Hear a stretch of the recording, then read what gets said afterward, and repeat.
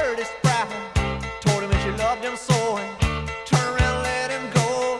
Then he said, You better watch your step or you're gonna get hurt yourself. Someone's gonna tell you